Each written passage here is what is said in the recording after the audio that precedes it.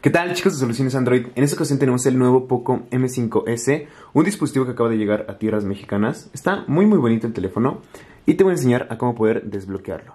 Este teléfono... Desbloquearlo. Este teléfono lo tenemos bloqueado por un método de patrón, pero de la misma forma te sirve por si lo tienes con tu huella, con tu rostro, con PIN o con contraseña. Muy bien. Primero que nada, debo de aclararte que no hay forma de recuperar ningún dispositivo si no es formateándolo.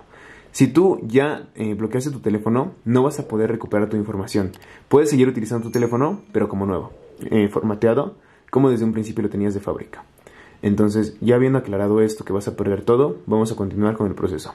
Tenemos que apagarlo. Cuando el teléfono se haya apagado, tenemos que presionar la tecla de Power, que al mismo tiempo es el eh, lector de huellas, y la tecla de subir volumen juntos al mismo tiempo. Cuando el dispositivo encienda, vamos a soltar power.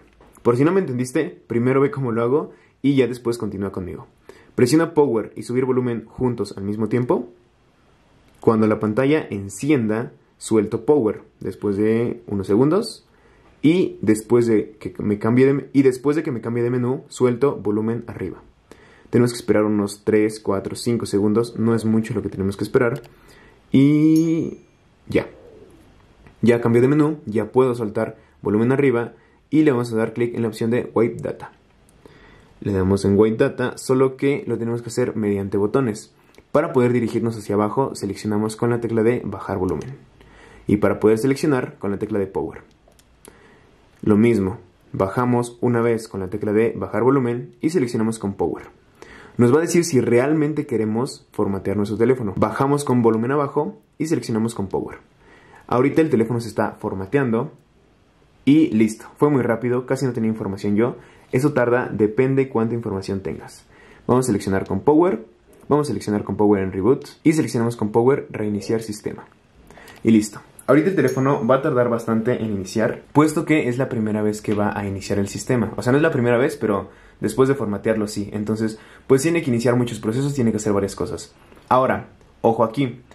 Si tú no te sabías tu cuenta Google, vas a tener que hacerle un proceso diferente, que es cómo quitar la cuenta Google o FRP, que te va a estar apareciendo aquí en la pestañita si es que no sabes hacerlo. Si tú sí te sabes tu cuenta Google o si nunca se la ingresaste, pues no te preocupes, ya está listo, tu teléfono ya está desbloqueado. Pero si tienes la cuenta Google y no te sabes la contraseña, vas a tener que quitársela con el método que te dejé. Ahorita solo espero unos cuantos segundos a que el teléfono pues prenda y te muestre que ya está formateado, con el menú blanco o azul de inicia tu dispositivo. Ya de ahí solo es iniciarlo y tener acceso al dispositivo.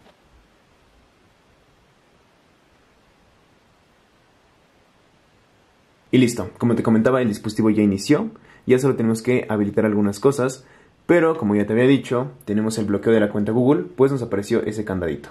Ya solo es eh, cosa de botárselo y como ya te había comentado, en la pestañita o aquí abajo en la descripción te va a aparecer cómo poder hacerlo.